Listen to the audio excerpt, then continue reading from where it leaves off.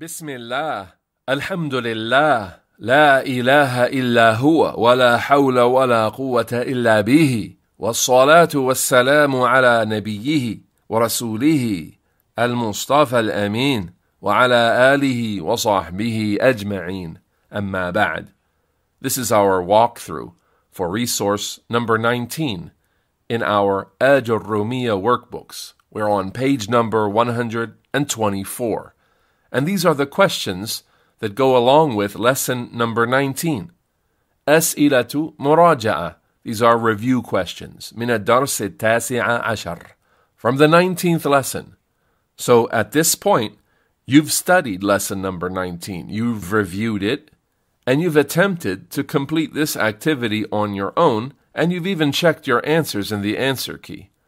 And now we'll go over the questions and answers together seeking the aid and assistance of Allah تبارك وتعالى. السؤال الأول The first question قال الإمام ابن آجروم رحمه الله The Imam Ibn Ajurrum, may Allah have mercy on him, stated وأما حذف النون فيكون علامة للنصب في ماذا? When is the deletion of a noon a sign of a word being mansub? A. الأسماء الخمسة B. الفعل المضارع الذي لم يتصل بآخره شيء C. ثلاثة مواضع or D. الأفعال الخمسة التي رفعها بثبات النون And this opening question is, as usual, a very direct and easy one. The actual text of the Ajurrumiya primer is وأما حذف النون فيكون علامة للنصب في الأفعال الخمسة التي رفعها بثبات النون.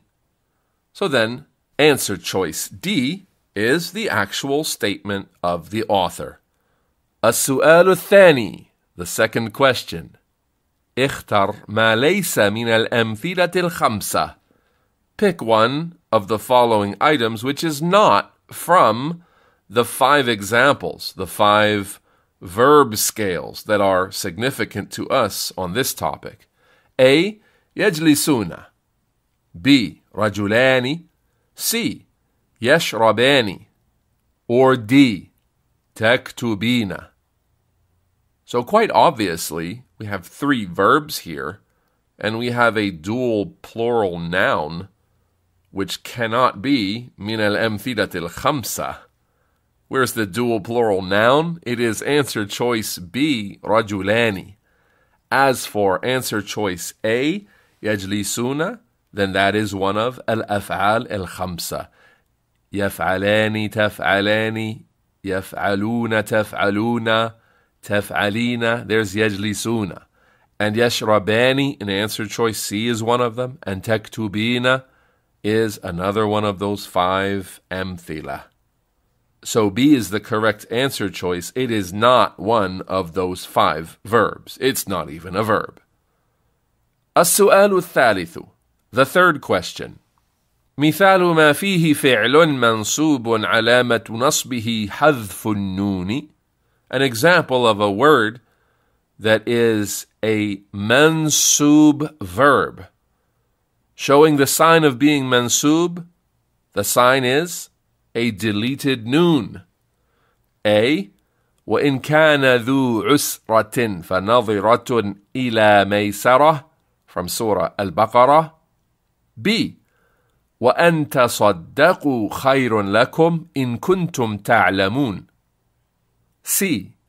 واتقوا يوما ترجعون فيه إلى الله or D ثم توفى كل نفس ما كسبت وهم لا يظلمون So we're looking for a فعل منصوب علامة نصبه حذف النون So answer choice A doesn't even have a fi'l. It doesn't even have any verbs. so we can eliminate that one easily. As for answer choices C and D, then we don't have any fi'l mudari' mansub. We have wattaqu fi'l amr, a command. Turja'una, we have a fi'l mudari'un, but because it has a noon on it, we know it is marfu', and those are the only possibilities there. So C cannot be the correct answer choice. And then we have D, ثم توفى كل نفس ما كسبت وهم لا يظلمون. We have the word يظلمون, a verb, but it has a noon as well, and therefore it must be marfu'. The only possible answer choice we have is found in B. And it's not ta'lamun. Why not? Because ta'lamun has a noon. That's marfu'. Where is the fi'l mansub in the verse? It is tasaddaqu. Originally, tasaddaquna. وأن تصدقوا خير لكم. And so, تصدقوا is فعل منصوب بأن because of the an device that comes before it, and it is mansub. منصوب علامة نصبه حذف النون. That's what we're looking for. So B is the correct answer choice. السؤال الرابع The fourth question. أعرب يخرجا من قوله تعالى قالوا إن هذان لساحران يريدان أن يخرجاكم من أرضكم بسحرهما the 63rd verse of Surah Taha. We're looking for the i'rab of the word يخرجاكم, but take off the kum. يخرجا. Our answer choices were A. اسم منصوب علامة نصبه الألف B.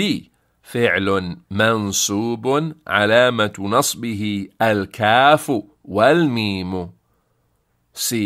فعل منصوب علامة نصبه حذف النون or D فعل مرفوع علامة رفعه ثبات النون Okay, so let's get rid of A. اسم منصوب. This is clearly a fi'l. This is a verb.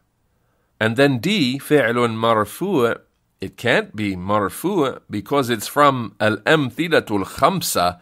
It would have a noon, like yuridani, yukhrijanikum, but rather it's yukhrijakum. The noon has been removed here, so its sign of being marfu' could not be thabatun noon. It is not marfu'. It does not have a noon. So D is an incorrect answer choice. We're left with answer choices B or C. Both of them agree it's a fi'l mansub.